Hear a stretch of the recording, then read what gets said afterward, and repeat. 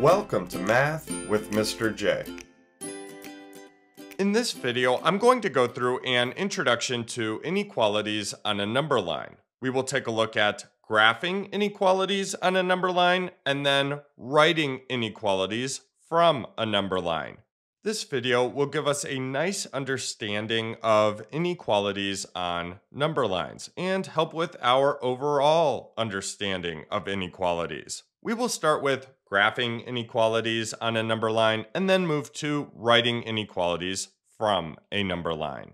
Now, graphing an inequality on a number line gives us a visual representation of the inequality and the solutions. Let's jump into our examples starting with number one, where we have x is greater than or equal to 5. Since x is greater than or equal to 5, that means 5 is included. 5 is a solution. So let's start at 5 with a filled circle. A filled circle shows that we are including that number. And then an open circle shows that we are not including that number. So a filled circle is needed here. Now we need to represent the greater than 5 part. So we need to draw an arrow pointing to the right, the direction of all of the numbers greater than 5. So we need an arrow pointing to the right. And now our inequality, x is greater than or equal to 5, is graphed on the number line. The filled circle shows we are including 5, and then the arrow represents all of the numbers greater than 5. These are our solutions. For example, let's just say that x equals 9.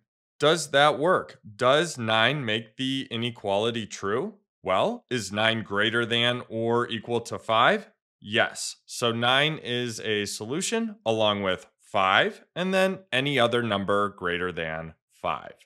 Let's move on to number 2 where we have w is less than 1. Now for this example, our number in the inequality, 1, is not included. It's not a solution. w has to be less than 1. And think about it 1 is not less than 1, 1 is equal to 1. So it's not a solution. So here we need an open circle to show that 1 is not included. It's not a solution. So let's put an open circle at 1.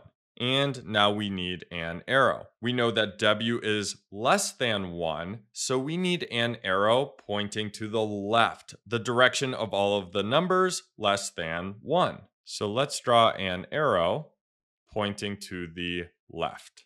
And now we have our inequality, W is less than 1, graphed on the number line. The open circle shows that 1 is not included, it's not a solution and then the arrow represents all of the numbers less than 1. So these are our solutions.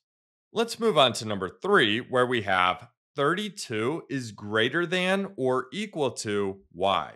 Or in other words, looking at this as far as the variable y, y is less than or equal to 32. And we can rewrite this with the variable coming first. This can be helpful when working with inequalities. And all we need to do is flip it around. So y is less than or equal to 32. Just make sure to have the sign going the correct way. For example, here the sign is opening up towards 32, so it needs to stay that way when putting the variable first. y needs to remain less than or equal to 32. Now let's graph this on the number line. We need a filled circle at 32. And then y is less than or equal to, so the arrow needs to point left, the direction of all of the numbers less than 32. So we need an arrow pointing left. And now we have our inequality graph. The filled circle shows that we are including 32, and then the arrow represents all of the numbers less than 32. Lastly, let's move on to number 4, where we have a is greater than negative 4. Let's start at negative 4. and negative 4 is not a solution. It's not included. So we need an open circle at negative 4. Now we need to draw an arrow that is pointing to the right, the direction of all of the numbers greater than negative 4. So an arrow pointing to the right. And now our inequality is graphed on the number line. The open circle is showing that negative 4 is not included, and then the arrow is representing all of the numbers greater than negative 4, all of these solutions. So there's how to graph inequalities on a number line. Let's move on to writing inequalities. Here is our writing inequalities from a number line section. Let's jump into our examples, starting with number one. Now, for number one, we have a filled circle at 8. Let's start there. And remember, a filled circle means that the number is included, it's a solution. An open circle means the number is not included, it's not a solution. So we have a filled circle at 8 and then an arrow pointing left towards all of the numbers less than 8. So that means 8 and then all of the numbers less than 8 are solutions. So let's write our variable and we will use x. Now x is going to represent all of our solutions, all of the numbers that will make this inequality true.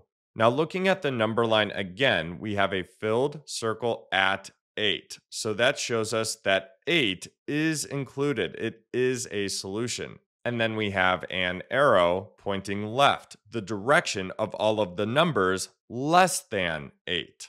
So x is going to be less than or equal to 8. And that's our inequality. Let's move on to number two, where we have an open circle at negative 4. So an open circle at negative 4, and then we have an arrow pointing to the right. So it's going the direction of all of the numbers greater than negative 4. So let's write an inequality here, and we'll use x again. So we have x, and then x is going to be greater than negative 4. Now, is negative 4 included in these solutions? No. So we do not have a greater than or equal to. It's just greater than. Again, because we have that open circle. That tells us that that number is not included. Let's move on to number 3, where we have a filled circle at 20 and then an arrow pointing right. So we have all of the numbers greater than 20 and 20 is included. It is a solution. We have that filled circle there. So x is greater than or equal to 20. And then lastly, number four, we have an open circle at zero. So zero is not a solution, it's not included. And then the arrow goes left, is pointing to the left towards all of the numbers that are less than zero. So x is less than zero. So there you have it. There's how to write inequalities from a number line. Check to see if you have a filled circle or an open circle. And then check to see which direction the arrow is going. Is the arrow pointing to all of the numbers greater than whatever number you're looking at, or pointing towards all of the numbers less than whatever number you are looking at. And then you can write an inequality based on that. So there you have it. There's an introduction to inequalities on a number line. I hope that helped. Thanks so much for watching. Until next time, peace.